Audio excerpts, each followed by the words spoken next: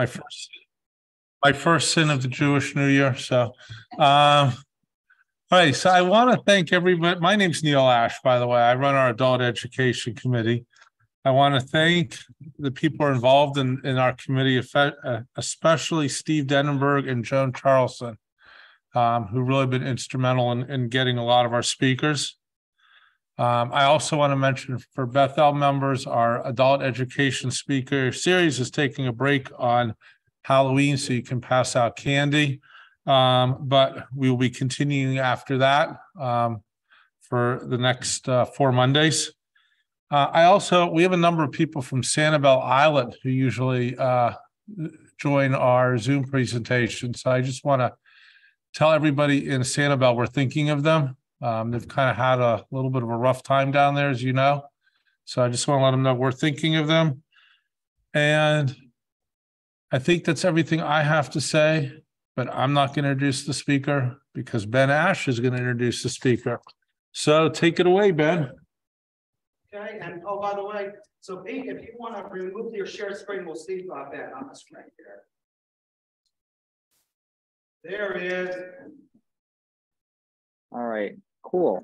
Uh, hello, assembled members of Mount Lebanon and other people from around the country. Uh, my name is Ben Ash, as my dad just said. Uh, last year, I was a senior at Mount Lebanon High School, and I am honored to introduce tonight's speaker. Pete DiNardo, I simply knew him as Mr. DiNardo. I don't imagine that is going to change now that I'm in college. Will speak to us about a timely cultural issue pressing our modern society, book bans and the way we deal, productively or otherwise, with controversial ideas. Being a college student myself, you might consider me to be in a place where this is a very, very, very topical issue. I have seen it very much um, firsthand. Uh, Mr. DiNardo has spoken to Bethel multiple times before concerning political polarization and modern white supremacy. She might consider this speech to be one among many on a state of American democracy. Having had Mr. DiNardo last year as my AP Gov teacher, I can say with certainty that he will challenge you every moment he speaks to question your pre-existing biases and help you grow intellectually, and in my case, personally as well. One of my favorite moments like this of Mr. DiNardo is when he made one of the most pro-choice people I know pro-life for a day, and vice versa for someone else, because he was so good at challenging us intellectually. Even better, he's willing to indulge the occasionally eccentric idea of the students, which I personally took advantage of quite a bit, as you can say. Uh, I hope you enjoy, and good luck, Mr. DiNardo. Well, thank you, Ben. That was so kind and beautiful of you. Now I just need to take a minute as I share the screen here and get us ready.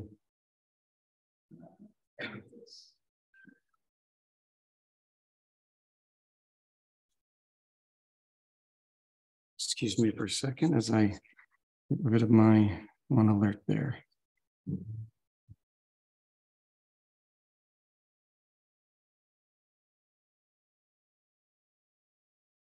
Good evening. I am excited. Oops. This uh, seems like every time I touch it, it will come back on. Um, I'm excited to be with you tonight. Thank you for attending, either in person or virtually. I also want to thank the four sponsors, Bethel Congregation. It's good to be back with you again. Um, Mount Lebanon Public Library, the Mount Lebanon Historical Society, the Historical Society of Mount Lebanon, and the Denis Theater Foundation. Your trust humbles me.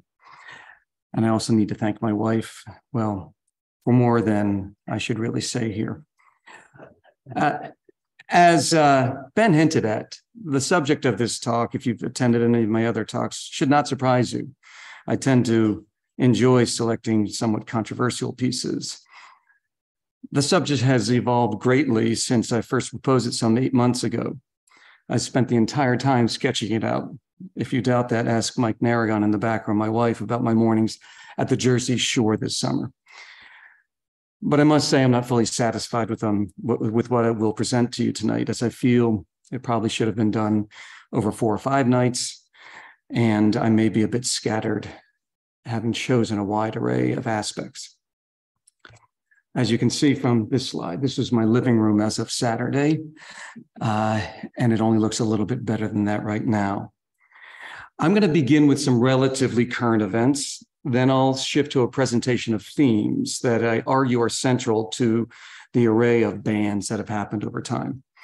I'll proceed to the most infamous example, followed by some global cases, and the long history. I'll spend a bulk of time on the 20th century in the United States. And then I'll conclude with references to the present, though I really want the Q&A to be about what you understand about the present placed in this historic context. So let's begin with the first of late. Most of you would know this man as Salman Rushdie.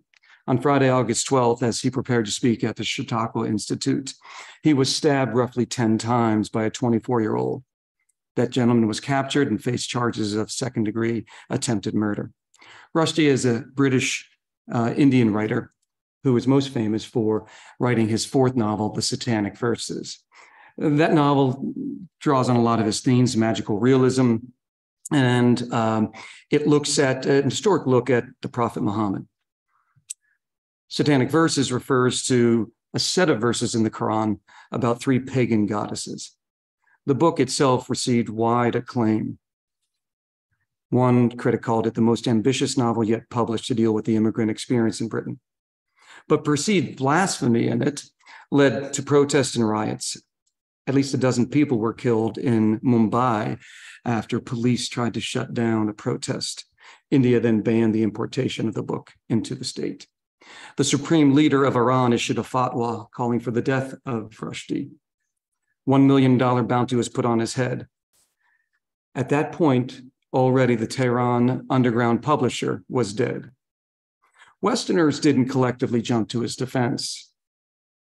Former President Jimmy Carter denounced the fatwa, but charged Rushdie with vilifying the Prophet Muhammad and defaming the Quran. The British writer Roald Dahl called Mr. Rushdie a dangerous opportunist. Another British novelist suggested he withdraw the novel lest it unleash, quote, a unique 20th century holy war. US bookstores had a difficult decision to make about whether to sell it or not. And they usually did in subtle quiet. In 1990, Rushdie issued a somewhat apology. In 1991, a Japanese translator of the book was killed. In 93, a Turkish novelist who published a translated version barely escaped with his life and a Norwegian publisher was shot multiple times, though he survived. In the late 90s, Iran announced that it no longer defended the fatwa. Rushdie seemed capable then of coming out of hiding and he moved to New York. In 2015, you may recall, the French publisher Charlie Hebdo published satirical cartoons of Muhammad. 12, 12 staff members were murdered by terrorists. PEN, the leading defender of free speech, especially on this current set of book bans, awarded Charlie Hebdo uh, with its highest honor. Rushdie joined prominent journalists speaking about, and this is two years ago, about uh, the intolerant climate. And he argued that the free exchange of information and ideas, the lifeblood of a liberal society, is daily becoming more constricted. He was not surprised that people spoke out against him with that comment. The idea of that being offended is a valid critique, he said, has gained a lot of traction. He argued that while my novel continues to be published, certain people, certain groups, certain religions, and so on have become much more offended and mainstream. To a degree, he said, you could say that many societies have internalized the fatwa and in- introduced a form of self censorship in the way we talk about with each other. The attacker of Rushdie was hailed in Tehran as a hero in its newspapers. We may feel some judgment, but our nation is moving closer to accepting political violence as a legitimate form of dialogue. Current event number two. From the PEN uh, site that I had uh, referred to earlier, its late, latest report. As of last month, two and a half thousand books have been banned across 32 states during the 21 22 school year. There are at least 50 advocacy groups that are bounding, banding together nationally and locally, and some of them have affiliates of more than 300. Across the nation, at least 1,648 different titles have been banned. Of these, 41% address LGBTQ plus uh, topics, and over 40% people of color or at least a secondary character that was uh, a person of color. The top states you see on our uh, screen here. Though to be uh, fair, Pennsylvania, most of those titles are the result of one district, Central York. The most commonly banned book currently is Gender Queer, and the second is All Boys Aren't Blue. But the challenge is larger than these bans because there's a silent censorship going on, one that scholars would call a chilling effect. All this despite polls consistently showing that over 70% of Americans oppose remo removing books, and over 80% support giving students a more diverse curricular experience. We can look at these and see it appears that we're in an unprecedented moment.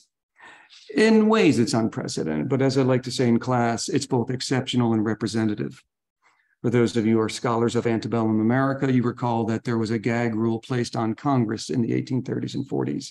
The South had banned abolitionist literature from coming into the South. David Walker had to hide copies of Walker's Appeal inside um, uh, dockmen and, and ship workers. The Liberator was banned. Turkey forbids the discussion of the Armenian genocide within the state. I, when I teach about that genocide, I tell students that I have violated two federal laws in Turkey.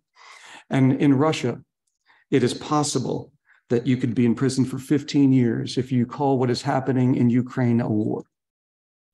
I see the following themes as, as uh, explicit in America, perceived or real. We're going to look at obscenity, anti Christian interpretations, celebration of violence, race and reaction, LGBTQ, and then this broad question about what we teach our children.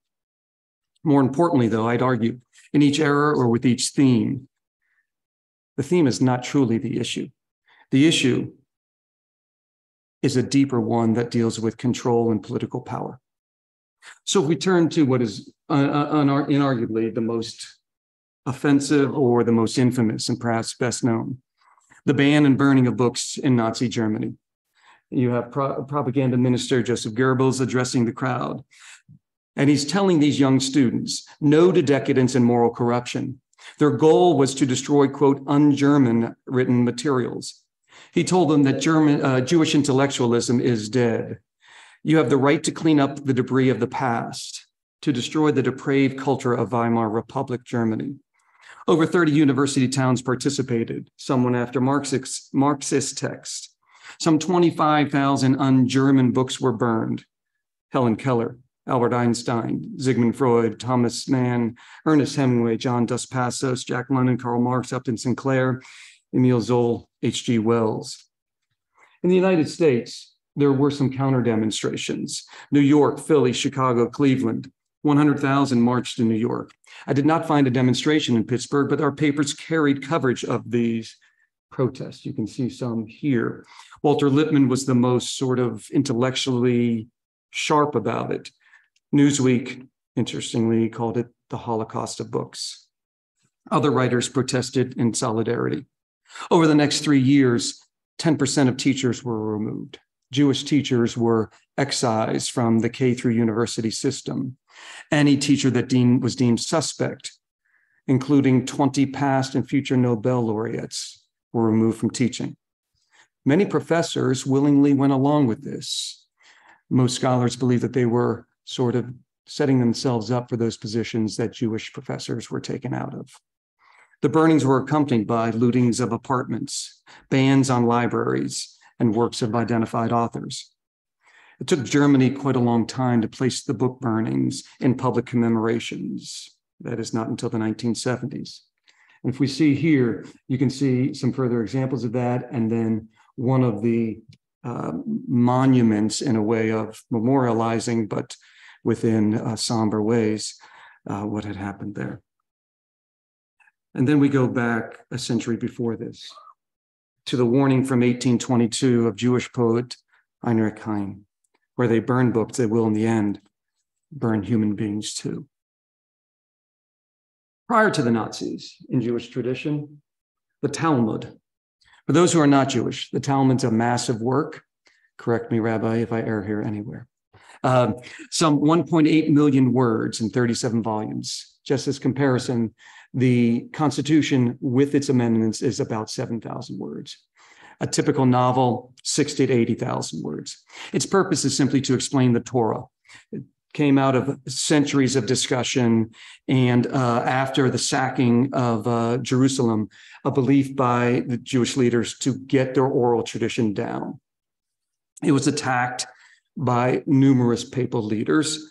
Uh, Peter the Venerable viewed the Talmud with contempt and ridicule because if Jews had a different interpretation of the Bible, scholars could not prove them wrong. Further Christian abuse happened as Pope after Pope seemed to uh, condemn it. Domin- Dominican friar Nicholas Donin condemned it as, as uh, condemned uh, the idea that the Talmud came from God and punished Christians who read it with the threat of death. Another pope confiscated the Talmud and then um, bowdlerized it, cut out parts that were not considered appropriate in Christianity. From what I read, Talmud scholars say that that still distorts much of the uh, printings of the Talmud to this day. Louis IX dispatched inspectors go throughout uh, Jewish neighborhoods. Uh, they were illiterate, so they couldn't quite read what they were getting, so they just grabbed any book. 25 wagon loads brought in a large pyre in Paris set afire. Burnings of the Talmud continued through 1319. In 1560, on the right side, Pope Paul VI authorized the Index Librorum Prohibitorum. It is a list of forbidden works in Catholicism. Over 500 authors, Protestants, humanists, and the Talmud. It would be recognized until 1966. More recently, maybe you have heard of this book. Uh, it skipped one, I think. I'm going to skip this. This is, I'm sorry, that that slide got out of out of order.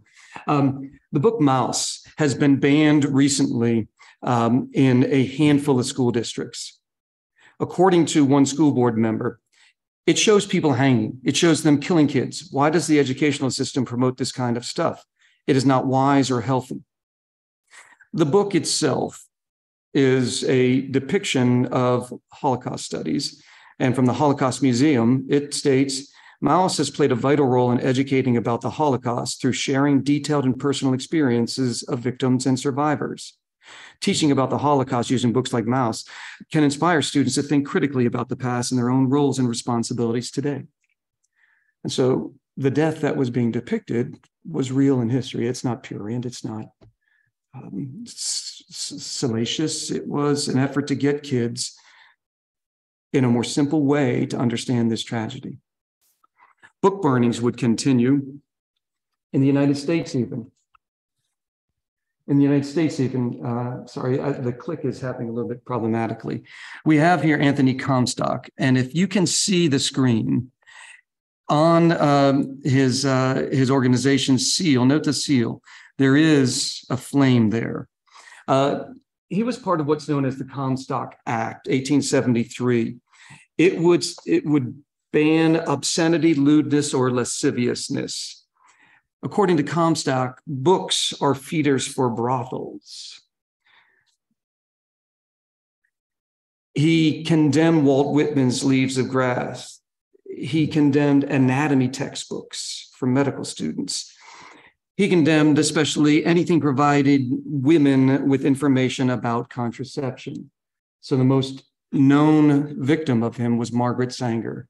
And as you can see, when he banned because it went through the mail masses, it says what every girl should know nothing by order of the post office department. We know current laws about obscenity today as Comstock laws. In the United States in 1948, uh, we got really nervous about comic books. So we start to burn comic books in Binghamton to New York. Groups of students can, Uh, came to burn them. They were creating depravity among American youth. They were, quote, sadistic drivel, poisonous mushroom growth of the last two years. It happened in Canada, even, which surprises me. But 8,000 comic, book, comic books were gathered together and burned.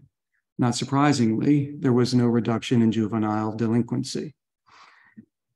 The United States' most infamous one was The Seduction of the Innocent by Frederick Wertham. This is one in which there was a Senate committee that investigated the evil of comic books and fomented by this psychiatrist. Move ahead to 1973, Kurt Vonnegut. Bruce Severly, a 26 year old teacher in North Dakota, decided he would use the novel as a teaching aid in his classroom. His kids loved it. The head of the school board did not. He had all 32 copies taken and burned in the school's furnace. Kids would not turn their copies in, so he had their locker searched. Dan Brown, The Da Vinci Code, 2006, burned in Italy. To the right, Harry Potter, my daughter's favorite book. 2001, New Mexico bonfire. They added Ouija boards just to be sure. 2002, Maine, they couldn't burn it because the law banned that, so they just slashed it up. 2003, pastors in Michigan. 2019, Catholic priests in northern Poland. And this uh, minister here, Greg Locke, had a stack of Harry Potter books, Ouija boards, tarot cards, crystals. Um, he added to it the Twilight sagas, um, arguing these are vampires and demonic influences. He said, We will not tolerate witchcraft and we will not be compromising with devil worshippers. At this fire, counter protesters threw in copies of the Bible, shouting, Hail Satan. the Potter series was the most banned book in the world between 1996 and 2000. One parent in South Carolina simply made this statement they're trying to disguise things as fun and easy that are really evil. Another parent, it talks about death and killing, drinking animal blood, and, and, and that's rich, witchcraft, and, and religion doesn't belong in schools. The Focus on the Family uh, co founder said, uh, it has some positive elements, but they're packaged in the medium witchcraft that is specifically denounced in scripture. Burnings continued in America. When we flip now to Terry Jones, Florida pastor from the Dove World Outreach Church, it has 40 to 50 members in 2001 after the attacks in, uh, uh, of September 11th, he was angry at the plans to build an Islamic center uh, near Ground Zero. So he was going to burn a bunch of uh, Qurans. Uh, the governor and some religious leaders talked him out of it. Nine years later, 2010, he threatens again, signs Islam is the devil. He called the Quran a dangerous book. 2011, he burned the Quran. And not surprisingly, then, terrorists attacked a UN compound in Afghanistan, killing about a dozen, injuring 90. 2012, another burning. Pakistan issued a, one, a $2.4 million bounty on his head. In 2013, he was arrested before he attempted to, to burn 2,998 copies of the Quran on the anniversary of 9 11. They keep burning. Annie on, our, Annie on my mind, 1982. It's a positive story about two 17 year old girls having a relationship. The um, uh, ALA counts this as one of the most frequently challenged, challenged books in the mid 90s. Its most infamous case happens in a, in a town that my college uh, roommate was from, Olathe, Kansas. Gay Rights Project 21 donated copies to the junior and senior high. Challengers went to court. While it was deba- being debated, on the front steps of the school, they burned uh, copies of the book. A district court ordered that the books be returned, and this is all because four students stood up and sued. And the judge had said they articulated very clearly the intellectual merits of this book. Last year, uh, Mr. Abusmal in Spotsylvania County, Virginia, proposed that books be not only removed from school libraries, but be burned. In April of this year, Tennessee lawmaker Jeff Jeremy Sexton suggested that we burn inappropriate books. Recently, Hong Kong has had many troubles, but one of them has been a condemnation of certain books. The books that have been condemned and found as guilty are written for four to seven year olds. They're picture books. As soon comes. It's about sheep primarily, and a pack of wolves. there's no doubt that there is implied criticism of the Chinese rule in, in Hong Kong here.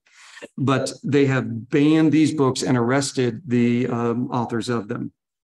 This is interesting because to celebrate the 25th anniversary of, uh, of Hong Kong coming back into the mainland fold, four new high school textbooks have been issued.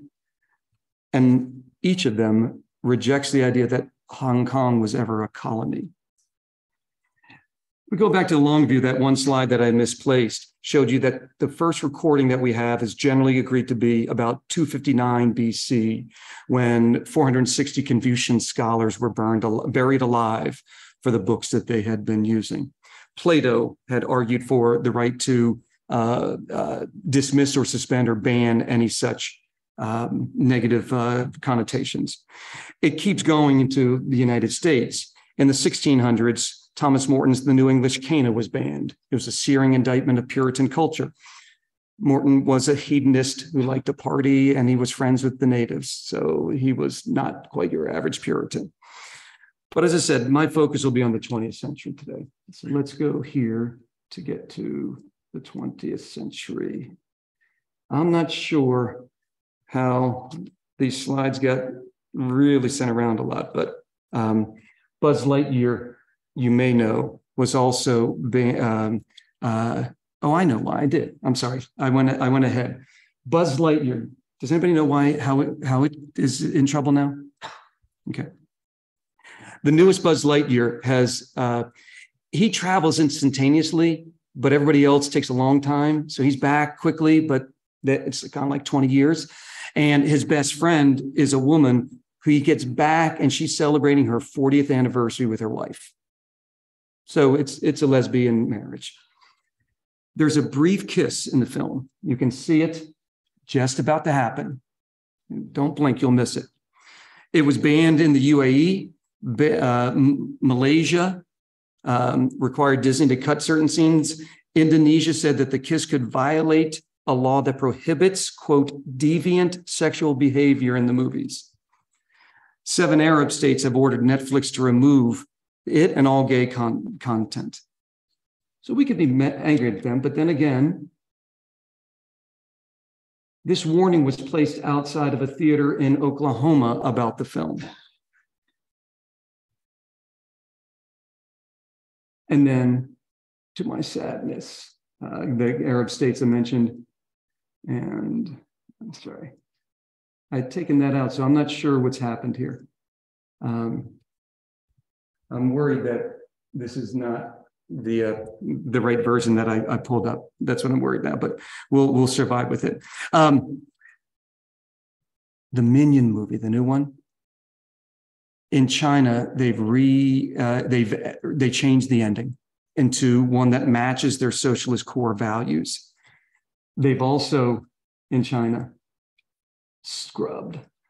There is no recognition that Fre- Freddie Mercury was gay in Bohemian Rhapsody. He wasn't. Okay. So if we move then to this uh, concept of obscenity here, um, we probably recognize that in Iran, you may know that um, in September, Mahsa Amini, a 22 year old Iranian woman, died after being beaten by the country's morality police. Some 50 people have died in conflicts, at least. This is based in a feminist organization that's challenging a lot of places. It's, it's interesting, anchored in um, Ukraine. And they've protested in Saudi, in Iran, in Italy, in Ukraine. Now we have dress codes, but our depiction of, uh, of uh, obscenity is a bit different here. We are going to look at some items from the American scene here. This film, Purity, in 1916, was uh, banned in Kansas and a number of other cities, Dallas and a few others, because of its use of nudity. Um, although some banned it simply because, quote, her neckline was too low. Um, and others were upset that men's expressions on their faces were too interested in her the New England Watch and Ward Society um, would be where we get the term banned in Boston from. Uh, they banned authors like William Faulkner, Ernest Hemingway, Huxley, O'Neill, Sinclair Lewis, Upton Sinclair, Voltaire, Whitman, Wells. And they also challenged an army film that was combating social diseases named Fit to Fight. The subject, the society objected to the film showing a nude woman. The nude woman was the statue of Venus.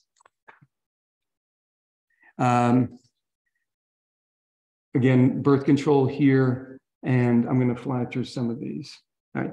The film Ecstasy. This is at age 18, European born Hedy Lamarr plays an unhappily married young woman. The film was salacious, became celebrated and notorious for showing Lamarr's face in the throes of orgasm, as well as close up and brief nude scenes. Uh, the most famous or infamous one, depending on your your take, was uh, after she went skinny dipping and she's forced to run naked through the con- uh, countryside after her horse. Um, it was banned in the U.S. until 1940. Similarly, my Bare Lady was banned in 1963. This is about a uh, woman who meets a, a U.S. Korean War veteran who happens to like hanging out in nudist camps. Um, this particular film was banned in our town in Pittsburgh. Uh, the Pittsburgh police banned it due to its content, and uh, the press covered that. I am curious, later 60s, was also banned, and um, it's it is a pretty it's graphic film.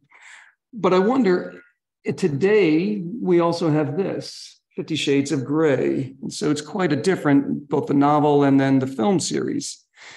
But I wonder, should we? Because in the age of Me Too, does this normalize rape myths, psychological grooming for abuse, sexual violence?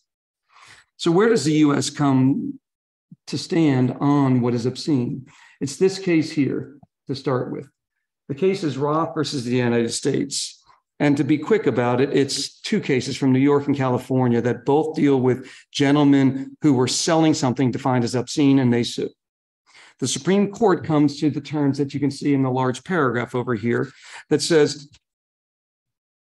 the item has to be without uh, utterly without redeeming social importance. And they give this test whether the average person applying contemporary community standards would see this as purient. Justice Brennan said it clearly sex and obscenity are not synonymous. So let's see if what we see as obscene then. Probably one of the most famous poems of all time. Described, described by David Gates in 2006 as the poem that changed America.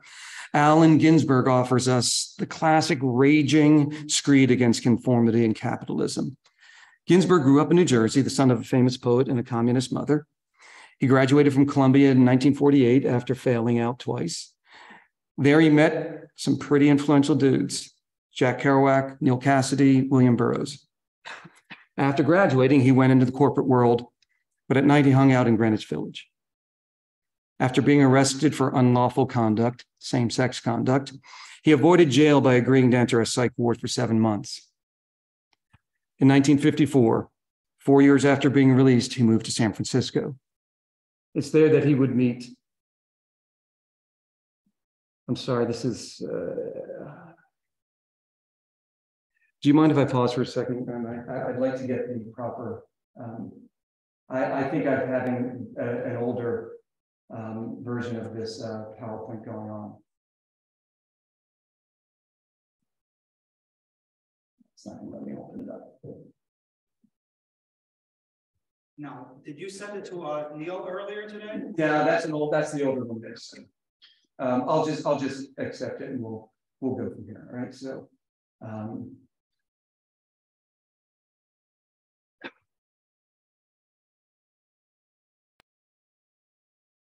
so this is. Uh, I gotta stop that now. My apologies, folks. This is Lawrence Ferlinghetti, the key maybe the key figure for the beat movement of the mid 20th century, and certainly um, probably the reason that obscenity laws were challenged. He founded a place called City Lights Bookstore, and uh, a lot of poets would hang out there. Ginsberg. one night in October 55, um, Ginsberg is reading a new poem, Howl, at a, uh, a theater down the, down, the, down the street. And Ferlinghetti said, I knew the world had been waiting for this poem. It was in the air, wanting to be captured in speech. The repressive, conformist, racist, homophobic world of the 1950s uh, cried out for it. The poem's radically offensive, intentionally offensive. It is meant to, to disturb you. So agents in, in, in um, San Francisco undercover operations to catch suppliers. I think the opening of it is the one that captures me the most here, outside of many F bombs he drops. But I saw the best minds of my generation destroyed by madness, starving hysterically naked, dragging themselves to the Negro streets at dawn looking for an angry fix. This opening represents a vision of a nightmarish world. He then moves on to indict modernity and the aspects of it that destroy human nature and the soul conformity, materialism, war, politics. I actually see parallels with it in items that I share in class. From 1922, A Flapper's Appeal, a young girl who's that wannabe flapper is begging of parents. We've just survived the war and pandemic. We need direction. Help us out. I similarly see it as having a parallel with Tom Hayden's The Port Huron Statement. We are a people of this generation, bred in at least modest comfort, housed now in universities, looking uncomfortably to the world we inherit. These are people that are looking at the world uncertain about it. Now, it's true that these two last ones did not have the profanities that the other two documents do, but they're asking us to have deeper questions. So the collector of customs seized all copies, but Ferlinghetti got a thousand that came in. Um, the collector of customs went to the San Francisco Police Department to declare the book lewd. Trial lasted nearly, nearly a month. The judge was a Sunday school teacher and a moral crusader but he recognized Ginsberg's literary intent and the work's social value. He employs the Roth standard. The answer is that life is not encased in one formula whereby everyone acts the same or conforms to a particular pattern. No two persons think alike. Would there be any freedom of press or speech if one must reduce his vocabulary to vapid, innocuous euphemism? And yet, still, the FCC continues to forbid it from being read on radio. 1988, 1994, 2000. So you can buy it, but you just can't hear it on NPR. A few months later, One Inc. One Inc. Oh, it's harassed by the US Postal Service and the FBI. Um, a particular, this is a, a gay publication, a particular story Sappho remembered. It's a story of a young woman re- reminiscing about her female college lover as she weighs her life and ultimately renouncing being straight and coming to terms that she is gay. Relatively tame. There's nothing more than a, an overt brief kiss in the story. And the only reference to sex is actually a heterosexual affair that happened. But um, Olesen called it lustfully stimulating with filthy words. The first level court called it cheap pornography. This judge said that homosexuality can only be discussed from a scientific, historical, and critical point of view. You cannot discuss it as a lived experience. It would be considered obscene and filthy. The Supreme Court reverse this. And it's the first time that we get the clear publication of gay literature. The Miller test will expand this to be, again, the average person and the work taken as a whole. So we want to look at things taken as a whole. So would we say these works taken as a whole, the bell jar, Judy Blume's blubber, or am I blue? Taken as a whole, are good pieces of literature. I mean, there's problems in each. Judy Blume's Blubber, I'm not sure if you're familiar with it, but it's 12 uh, year old girls that are, um, they're really vicious. One girl wants to be in the in crowd, and these girls are mean, and they, she's chubby, so they call her Blubber. It's argued that it's got vile language, bullying. The word damn is used in it.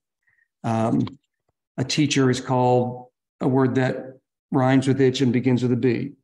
It uh, was banned in Maryland, Ohio, Texas, Illinois, Montana, Illinois, Hanover, PA, Ohio. Years later, in 2001, a young reader posted a reply to reviewers. I'm in sixth grade, and guess what? Real life is like this book. Am I Blue was stories about written by young people as same sex uh, ideas, lived experience. Um, violence, Scarface being the most infamous one there or famous one. We might chuckle at this, right? But I'm confident we wouldn't chuckle at this. I couldn't sit through a Clockwork Orange. I had to leave. It was to me just so disturbing. But its graphic depictions of rape and violence, maybe we should ban them. Pink Flamingos. It's an incredibly uh, graphic account that includes animal cruelty and a leading character eating dog feces. I'm not interested in this. Midnight Below was again one linked to Pittsburgh, banned in Pittsburgh. It had its critical reception, right? It was written by folks who were like Night of the Living Dead fans, and its critical reception was less than wonderful. It was mediocre, and a Pittsburgh Press review called titled it "Horrors Midnight Isn't Scary." But is this obscene? Brokeback Mountain, 2005. Banned in Middle Eastern countries. Lebanon was the only Arab country to show the film. Uh, the UAE allowed you to rent it in like a blockbuster. Um, Italian owned station banned it, banned in China, and in 2014 was banned in Utah. Beyond obscenity and violence, the early Cold War era issued bans that unearth our themes of anti Christian ideas and patriotism. So we see here, there's a red under my bed, that theme, right? And we know that the leading group here was the um, uh, Christian Anti Communist Crusade and their publication, You Can Trust the Communists to Be Communists. So this is where some of you know that Mount Lebanon came, comes into the picture. Um, Mount Lebanon had its own little mini red scare. I'm titling it There's a Red Under My Bookshelf. Um, in September of 1953, there were charges against our public library of excessively housing liberal and left wing books. The charges were brought by Miss, uh, Mrs. Claire Mitchell. She wanted to add, add more books on Americanism. She went through the whole library and cataloged every book. She was upset with a number of the authors, and there were. She was a uh, had her PhD in, in economics. She cited economic, uh, economics books, sociology books, etc. All right. There will be a massive meeting that will occur. At this, and it's not showing up on the screen. Walk by the hill. Okay, what's that? Yeah, yeah, it was. It was. Um, so hundreds come out to the uh, to this gathering here, and in fact, um, in the discussion, right, that you will have, I love these cartoons here. The local papers are are having fun with Mount Lebanon. If you can see it up here, um, Americanism Week, the public library with the broom hitting the red book, or a weed in Mount Lebanon, um, and uh, criticizing us for that. The official report that's in the archives at the library and the Historical Society, um, Ms. Mitchell spoke at the meeting for nine single spaced pages. That's a long set of comments that she had there, right? The library has in its records many letters of support. Uh, I don't know if they didn't keep critical ones, but they've got uh, beautiful letters of people saying, We are supporting you. This is part of the overflow crowd that was there. And then I kind of like this one here split verdict. And then, I'm sorry, this one, the next one. So in the conclusion, it was a commissioner, I believe, that said Mount Lebanon is a superior town that we can get through this. And the letter to the editor here asks whether Mount Lebanon really is that superior. Beyond this well documented one, Mount Lebanon had a long history, though, with this. Six years earlier, 1947, our PTA proposed a countywide ban on questionable books. Markham did that. In 1949, Mr. Benjamin Arsham, a Mount Lebanon optometrist, was charged with having communist uh, connections and having massive communist meetings at his home. He had served a couple years in, in, in the army.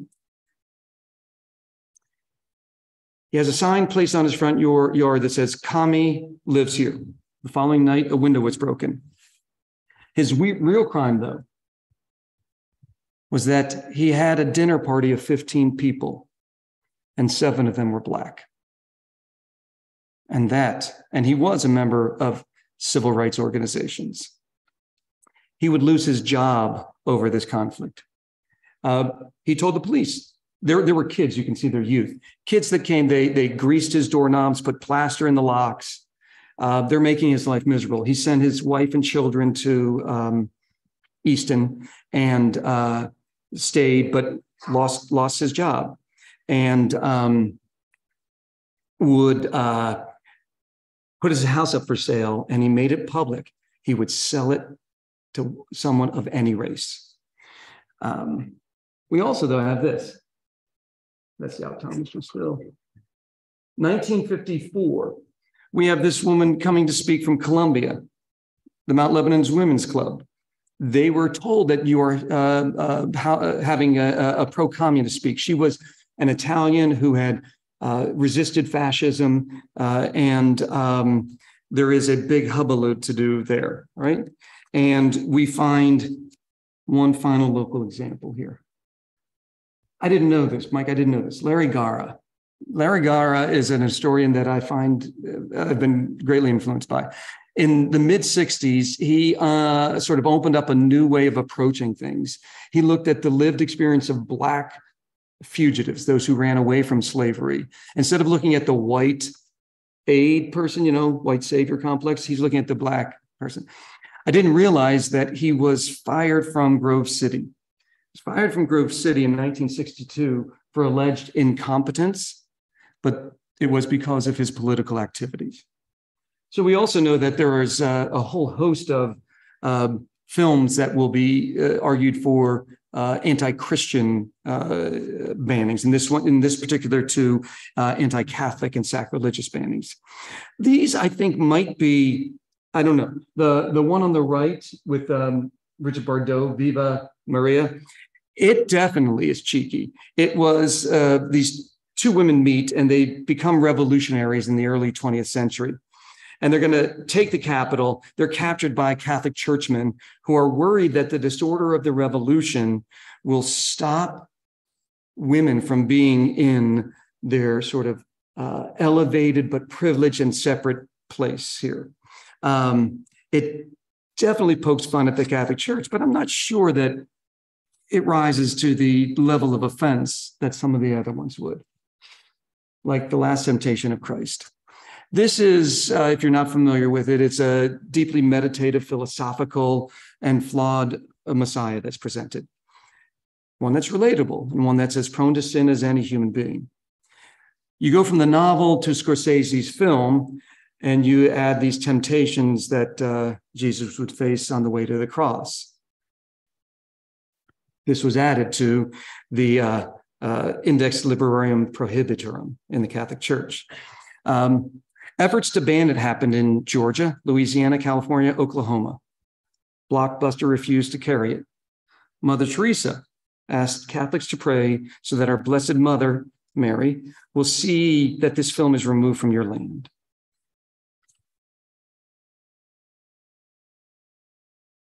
Oh, I'm sorry. It's sorry on the screen. Uh, Monty Python's Life of Brian. So, if you know the story, right? Uh, Brian was born in Bethlehem on the original Christmas day in the stable next door to Jesus, and he spends the rest of his life being mistaken for Jesus. He's not the Messiah. He's just a very naughty boy, is maybe the most quoted line. The blasphemous subject had it banned in Norway and the United Kingdom. I thought Sweden was kind of funny. Sweden post, posters in Sweden proclaimed, It's so funny, it was banned in Norway. Several U.S. towns banned it. Strom Thurmond tried to get it banned in, in South Carolina, and um, it's considered uh, uh, uh, blasphemous and sacrilegious. This is Life of Brian, right? Yeah. Yeah. So if we just, I'm just to look at this, these are all for various reasons bad behavior. So I want to do this to get to my shocking story of bad behavior. The banning of Captain Underpants. Underpants was banned for numerous reasons. For offensive language, quote, bad behavior and material related to bodily functions. It presents parents and adults, teachers, as overly hard or incompetent. Well, sometimes we are. The offensive language was cited as things like that old guy, mean old Mr. Krupp, partial nudity because he just wore underpants, and uh, in one scene, he had to sling off his underwear. You never saw his buttocks and throw it. Violence, misbehavior. There were several school pranks uh, played, right? Um, Pilkey, the author, I thought was great in that he mockingly draws in some of this into later books. Miss Singer Brains, missing her brains, as the librarians of the school who banned the book. And it reminds me of the current debate Oh, I, I need a new butt. Sorry, I want to go to, I need the new butt, right? The, the three, three part series. Um, see that I'm clicking it too many times, going back and forth everywhere. One more and hopefully it gets there. All right, I need a new butt. So um, in March of this year, an assistant principal in Mississippi had uh, a little crisis. The reader for a Zoom reading of a book couldn't make it. So he decided to step in and read to about 200 kids on Zoom. And he picked one of his favorite books, I Need a New Butt. The, the story is about a kid who discovers that he's got a crack in his butt. And he says, I need a new butt. It's broken. And so he loves the story. He reads it there, right? The school superintendent fired him. And in the term- termination letter, cited, quote, unnecessary embarrassment, a lack of professional professionalism, and impaired judgment. In particular, he was disturbed that the book uses the word fart, which he called inappropriate. These books, as a nice article in the uh, uh, conversation writes about this book here, it's going to come up the day my bum went psycho, right? Uh, this is about a global conspiracy to cause a methane eruption. And that could render everyone unconscious while the bums take the place of people's heads. And part of what the author who wrote this is, is that he's a teacher or a former teacher, that he felt that he had to write things humorously to get kids engaged and to read.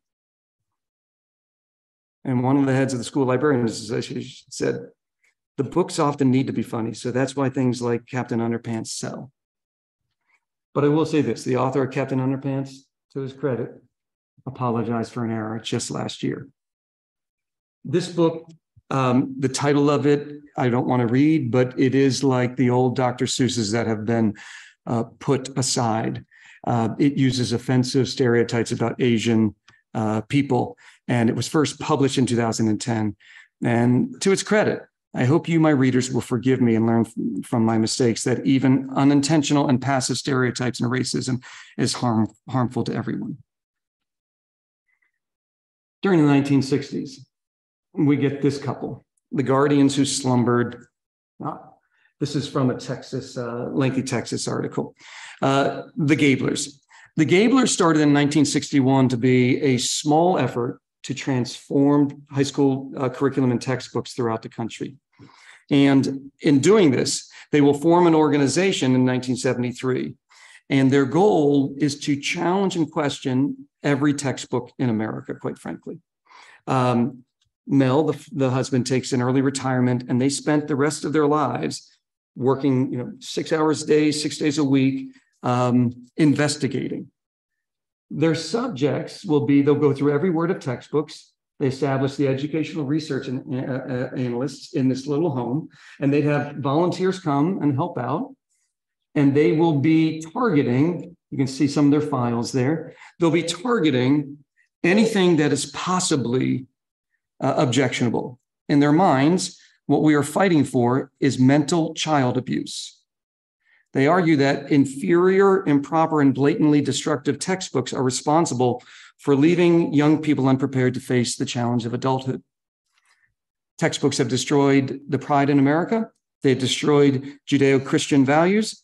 They are the responsibility for crime, violence, drugs, pornography, pornography, venereal disease, abortion, homosexuality, broken families. And then one other pamphlets, and I couldn't get a copy of this in capital letters. Until textbooks are changed, capital letters, there is no possibility that crime, violence, VD, and abortion rates will decrease.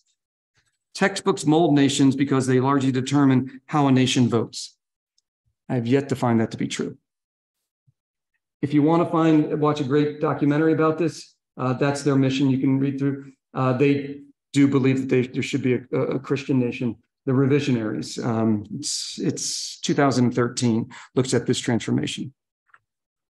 Part of the Gabler's efforts then would take deeper root in 1974. I think 1974 we can see as an early version of what's happening today. This is a battle over multiculturalism, the CRT of that era. In this small part of West Virginia, a coalition of middle class Christians concerned about family values working class whites stung by cultural elitism, and avowed racists inflamed by what they thought was political correctness will come together to challenge the state. There was a recent state mandate that school books should portray the contributions of minorities to American culture. George Orwell, James Baldwin, various uh, people added there.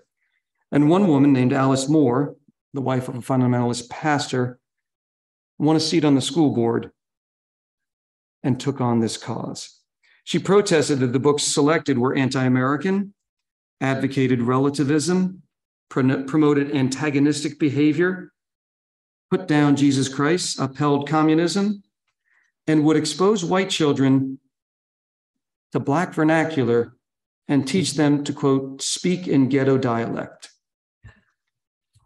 Scholars of this uh, moment believe that the rejection was of racial, cultural, and philosophical diversity. On September 9th, 9,000 students, about 20% of the county's population of students, boycott school. And in the right, you can see, just like in the South in the 50s and early 60s, private classes are held in church basements, throughout uh, this area. The one sign you'll see uh, uh here is textbook uh, undermine our religion uh, as a home.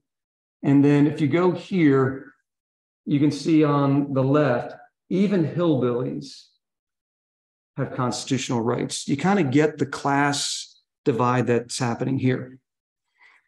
One minister asked us, pray that God will kill the giants who have mocked and made fun of dumb fundamentalists. The board voted to let parents opt out.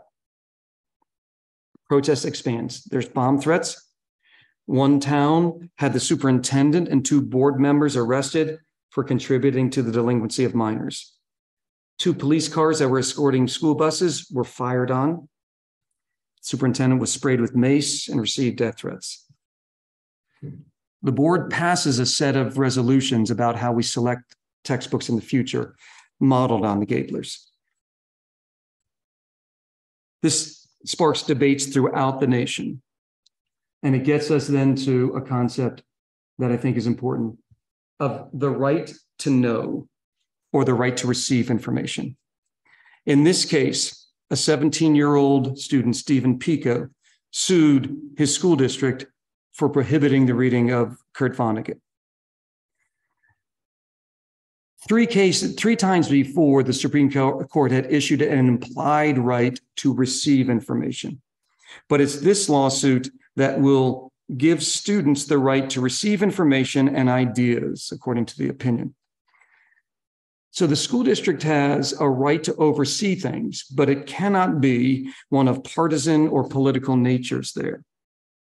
To see that, you can see some things like this. As I lay dying, pretty classic text, right? Was considered, looked to be banned, rejected as secular humanism.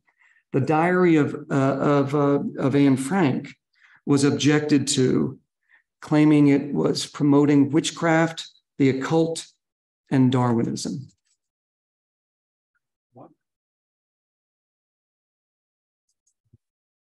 I'm going to skip through some of these because of the time. If we move here, this is David French, and uh, he has uh, just now started to write a column for the Atlantic called The Third Rail.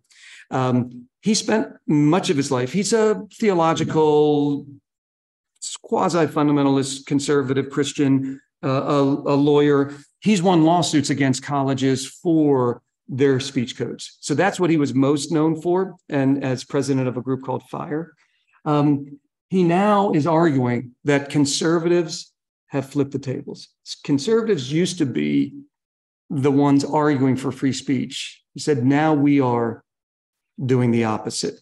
So he's upset with this.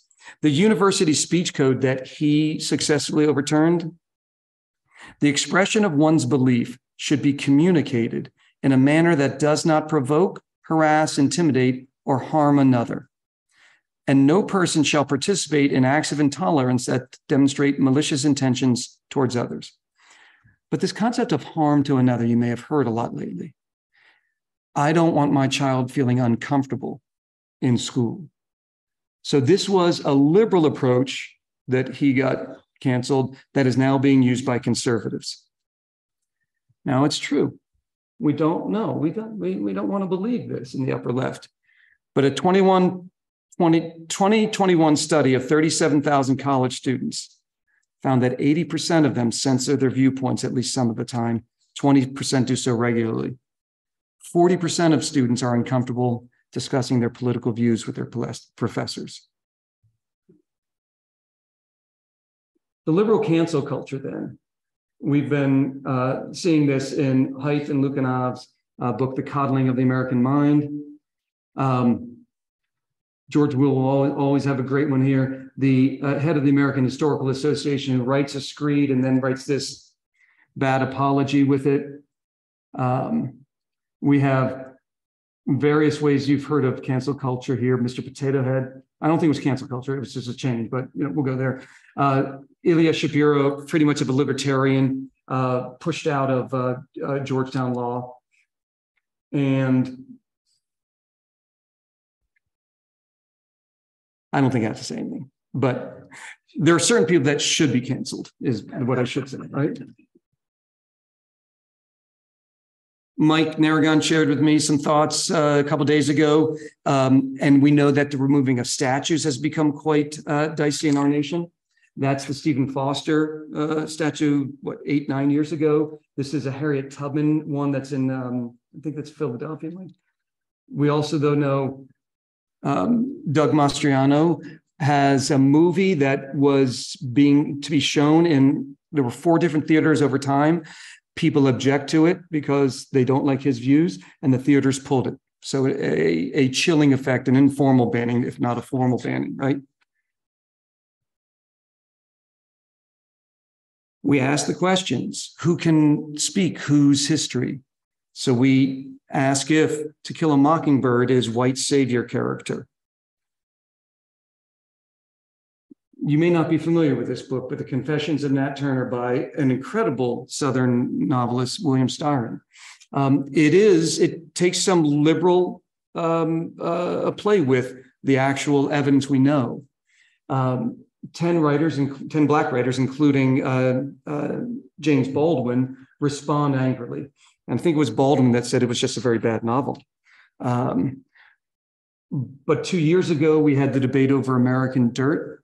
How many remember that conflict over the? Yeah, this is the book that it was questioned whether a woman who is, you know, relatively white can, and she only has like a modest Puerto Rican, I think, background, can write about the realities of Mexico. There's a book called uh, Nappy Hair. It's for children, and it was written by an old, she's now older, black woman, and uh, it became a big conflict. Um, can't remember the year, 15 years ago or so, uh, because a white woman read it in a primarily black school. And this the book is a somewhat autobiography of the older woman's life. And she had an, I think it was an uncle or a grandfather that kept telling her that this myth of your hair being ugly is not true. You're beautiful. And that's what she wants kids to see. So if you recognize this, this is New Jersey a few years ago when the uh, wrestling official made this kid cut his hair because it was considered too long for the, the headgear. Um, if we go here, you get the showing of some of the debate over this book and the strong racist underpinnings of the term nappy hair. But the hard part is, is that the woman who wrote the book wrote it as an intentional effort to celebrate the type of hair that isn't Western, if you will, that isn't looking like maybe Beyonce. And the author was prohibited from going into New York City schools and even prohibited from going into Boston schools. We know there's a lot of issues beyond uh, uh, hair uh, dealing with race. Um, Huck Finn, you probably know a lot about that. But the first 80, 90 years, it wasn't objected to on racial grounds. It was objected to because trash suitable only for the slums, street vernacular, because Huck not only itched, he scratched. All right. So it's not the idea that there's this racist language that comes in the 70s, right? James Baldwin, Another Country. It openly critiques white society. I'm sorry. It, it's about Greenwich Village, Harlem, Africa, called Sex Perversion at its Vilest. Malcolm X, banned because it openly critiques white society. Well, in 1965, it deserved to be critiqued. We have some more complicated ones there that, because of time, I'm going to uh, skip through. This probably should have been banned. It's the most racist uh, classic film ever been made. Three hours of silent film. That alone is a reason to cancel it. But um, Pittsburgh was a, a, the mayor banned it in Pittsburgh, even though the state board of censors approved it. And so we end up seeing that uh, our debates and our um, our actions are, are uh, going further and further. I'm going to skip through some of this because I'm seeing the time escape me here. This is, I just want to show you here. This will get us up to the present that shows you that the primary ones that are being banned today generally more often deal with LGBTQ plus or race issues here. And if you look at, I think I have the top lists here. Yeah, this is last year's top 10 list of the most banned books. You know, we do have um, a couple that are on there a lot uh, out of uh, uh, The Bluest Eye, and then a few by Toni Morrison have been banned quite often. But as PEN writes, book challenges are nothing new. But what's new now is that they argue it's an orchestrated attack on books whose subjects only recently gained a foothold on school library shelves and in classrooms. When you're objecting to the story of Ruby Bridges, the six year old who integrated northern schools, when you're objecting to stories of Malala, when you're objecting to stories of Dr. King, it gets very concerning. According to, to, to PEN, 98% of the 1600 book bans took place when administrators acted covertly outside of normal established procedures. Little review, little transparency. But I want to show you that there is some ground for hope. There are people fighting back, and there are kids fighting back. And when I look at this, I say, I think we're going to be all right. So, in conclusion, there are 99,000 public K through 12 schools in the country. The numbers in which bans are happening are relatively small. Doesn't mean it's unimportant because it very well can be part of the tip of a deeper iceberg. Are we moving from the red scare to the ed scare? Is this a some claim part of a broader attack on public education? I think it is. Is it akin to past phases on bannings? The one of the 50s to undo the New Deal, to undo the New Deal, the one of the 70s to fight back against the progress that Black, Latino, Asian people had made. And there are clearly coordinated efforts happening. In some, I'm not convinced it's a fleeting moment, and I do think it's part of a larger shift. But I do think that there are numerous organizations and people doing the right thing and fighting back. And I'm confident we will continue to fight. I thank you for indulging me, and I'll take any questions.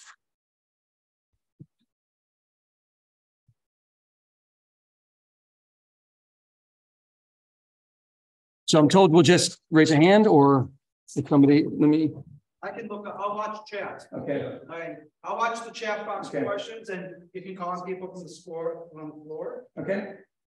Anyone have a question?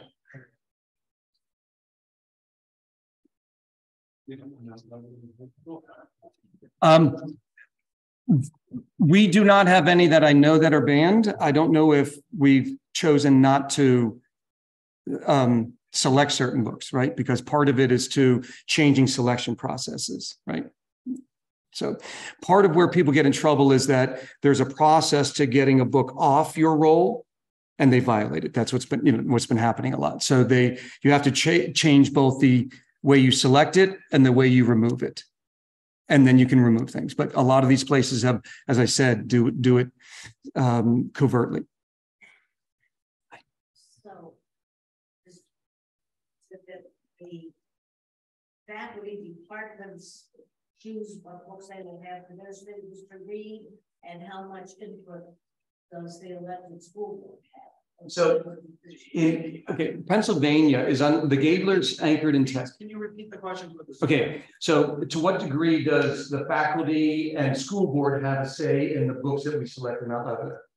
Great, you both are going for my job, thank you. Um, uh, so, uh, unlike California and Texas and Virginia, Texas where the Gablers are, it's a state adoption state. So your textbooks are selected by a state board. That's why that um, the revisionaries focuses is not on the Gablers, but on a current fundamentalist board member that's on there that's shaping everything. And publishers go to California and Texas because the largest is. Mount uh, Pennsylvania is the most local control state in the country. We have, first of all, we have 500 districts, which is economically insane. That we don't have large districts, right? So we have a lot of control here. The state establishes standards. We don't, uh, when I was in Massachusetts and teaching in the late 80s, early 90s, uh, my supervisor came from the public system and he left it because every day, that day was prescribed to teach US history. Everybody is teaching this on that day. And that's not uncommon pretty tightly in a number of places. So we have uh, faculty members that review textbooks. And we select the textbook. It goes up for approval from both. We now have a like an administrator that supervises us, and then the board has to approve. So they do approve it. I don't know the extent that they go through every word of it. You know, if, if that's what you're asking, I don't know their I don't know their process to then approve it. But Dr. Davis, for me, the secondary uh, uh, the assistant superintendent for secondary education is the first one that says that that looks good to me, and then it goes from there. But we do most of the deep work to say that's you know going through seven or eight books that we might find as a textbook for U.S. history. Are there any topics that are outright banned for being taught, at, like Mount Lebanon High School or other neighboring schools? Um, so I I don't know of anything that I mean, I don't think it'd be smart if anybody decides to teach critical race theory, but it's I, I, no one's ever told me there's anything banned in Mount Lebanon, you know. Um, and we didn't look at the banning of, you know, the teaching of evolution was banned from the 20s through in in, in by state to 1967 or 8. Uh, but I don't know of anything that's banned. I think that uh, you've been in my class for a year and a half. I think you know that pretty much anything we talked about. So. Any other questions? I got one on- online. Okay. How are school library books chosen? Uh, in Mount Lebanon, Sure. I actually don't know because I'm not the school librarian, but um, yeah, that's that's it's it's so what's happening, what you're noticing is what, what one of the what I would argue is one of the organized efforts that's happening throughout the country is to uh, get onto library boards and change library boards. So that's the public library, so, so at the public library. Um, and you can do this and influence it with a small number of people. The second one is school boards. Um, in the period around the January 6th insurrection, I was reading a few articles that the Proud Boys have said, let's look to school boards. And that's not an unprecedented move. Uh, that you control locally, you build a base from the bottom up, and it's hard to do it. So I think there's a concerted effort to, to seek those positions out, and they will shape the future on, on libraries there. Yes. Do you think there's any value in attempting to lift the tactics used by conservatives back against them? Like if I say, I want to ban books that are inappropriate, grab your Mein Kampf and your biographies of David Duke, they're going to fire. Or to challenge, you know, some books that I'm uncomfortable with these books being taught because it teaches my daughter that she's inherently filthy. Yeah. So there's a gentleman in Florida who does this sort of like as a profession, um, and he has submitted a request to ban the Bible because there's a lot of like sex and other things in it. So he says, you know, if you have all these rules and you can't do this, you got it. So he's challenging it in that way. I think that's much more about performative, you know, to the point um, of it. It's like the um, uh, we have a state legislator who two or three years ago proposed that um, all men upon the third child that they father must have a vasectomy or at the age of 40. And it is a tongue-in-cheek, a tongue-in-cheek uh, proposal, but he's asking the question, why make women be the, the carrier of all the burden of reproductive decisions there? So I don't want to be corrected because you're performing facetious. yeah, yeah, yeah, yeah, yeah. Yes. In a similar vein of um, limited tables, but specifically for schools, how would you view if you had a, a district like, let's say in the Mount Nebo area Yeah. or in the surrounding areas where there was um, uh, a non-trivial minority that pushed for a book, let's say about the January sixth insurrection where they, you know, it's called like Patriots Day. Yeah. And they basically said we want that in school. Yeah. Um, so I, I guess it's a two-part question. How would you separate what you decide to have in schools versus like what's available for, you know, eighteen year olds who Yeah. go to a bookstore to buy whatever they want? Right. So uh, I think the first answer is probably I have to ask about the age we're talking about because I definitely get the idea that certain topics at elementary level, by the time I teach juniors and seniors, they're fairly capable of handling a lot of things. So the way that uh, I've done this in the past when I taught an AP US history course, there is, um, you know, there, there's the book of People's History by Howard. Good left wing history. Then there's a Patriots history that was written specifically to counter that. So for the Mexican War, I had a chapter on each history. And have about you know, you can look through that and decide what versions of truth you're going to examine and accept. So if it was something like that, I'd want it to be then as an intentional sort of idea of looking at a couple of views there. So anything that's largely partisan either way, uh, we probably want to have a foil up against that, that kids can see at least there's, and I, I don't like the idea that there's only two views, but you gotta show at least there's an alternative views, whatever it is, you know? If you apply that to like intelligent design. it's. Well, so Pennsylvania is, is connected in that, so, um, the, uh, uh, um, a town five hours away from here that, uh, in, uh, attempted to teach intelligent design as a science. And a federal court said that's just a factual way of teaching creations. So officially, a science class cannot teach intelligent design now. I'm not going to suggest that doesn't happen in cases, but officially that can be taught. Now we can discuss that in my class, uh, you know, uh, the history class about that thought and those ideas, right? Just like, um, you know, there are certain things that, I mean, well, the question would be, right? Do would we rather take the approach of the United States or of Europe on Holocaust denial? The United States is much more free to do it. About 10 years ago, the Southern Poverty Law Center identified 10 professors that projected. Europe, you have a much greater chance to be sued for that. Partly, I want to be European because it's so dangerous, but I also understand the concept of free thought, free speech that we like to elevate.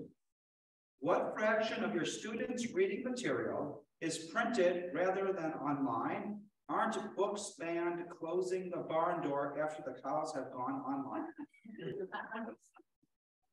Question. Well, it's great, great, great question. I still, you know, I, my students know that, that a lot of things are printed out with me, so it is in hard copy. Um, and, and we don't need to go into my reasons that I can demonstrate why that's better. But um, uh, it's, it's interesting because I couldn't, even if I assigned it, it doesn't matter whether it's on the right? So the kids might get it somehow. And we do notice that, right? If one of the slides I had up there was the sales of the banned books, they go up. Like I, I love this one years ago, I used a video where um, this kid, you know, he's it was a kid in the 50s and they banned Catcher in the Rye. He said, we all just went and got it. Then. As soon as the school banned it, we said we knew it was good and we had to go get it, right? So, um, yeah, I think that that's, you're seeing uh, the, the, graph shows that sales go up for about a year. I don't know if they're going to do Yeah. Yeah. It's us being free speech and starts being, you are factually incorrect. Right. You're not allowed to take a nap say two plus two is five, because it's not, why are you allowed to imply that the United States didn't do horribly racist things when we did? Yeah, yeah, no, I, I think, I just, would we ban that from being, our culture would not ban that from being published. We would say, I would, I would ban teaching that in, in, a, in a public high school, right? Um, it was, I, on the talk I gave on hate speech, there was a, uh, Florida principal who got into Huckaboo because he said you have to teach both sides of the politics. And yeah, and I'm just gonna cover that for a little bit there, right? Um, and but and, and that that's it to, to argue that, right? There are there's there's only one side on this one. Uh, you know, and these kids know that I told my kids there's a lot we can debate, but there's certain things. Hitler, bad. The Klan, bad. We don't have, there's no wiggle room there. You know, we don't say, no, relatively bad. No, bad, right? Then there's a whole, there's only like five or six things throughout the year that, that will say that about.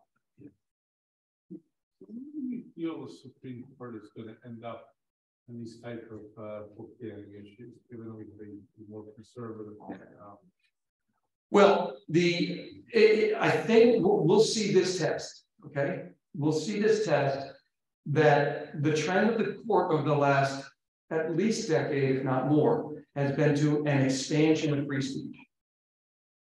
But it simultaneously is rewriting the other part of one of the other parts of the First Amendment, freedom of religion. And so, in a place that is demanding parental rights, like we we we have this odd mix of student rights and parental rights. And in the court decisions, they said that you know there's recognition that there's a whole lot of powers here. So if it trends towards religious freedom and parent rights, then parents will have more say to dictate what's happening in these classrooms. I want to say, watch Life of Brian with my kids. Yeah. I consider it a very funny movie. I I'm offended that people want to ban that movie. I I when I read every Harry Potter, and my daughter's read them like eight hundred times each, and she's just but that person. We have time for, I think, one more question. I have one in the back.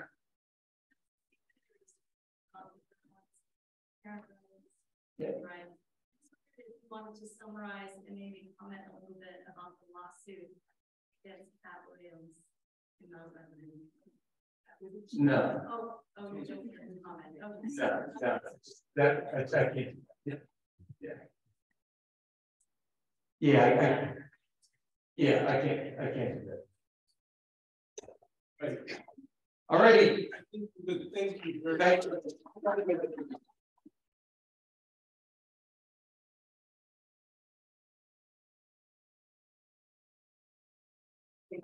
You know, if you look at that one,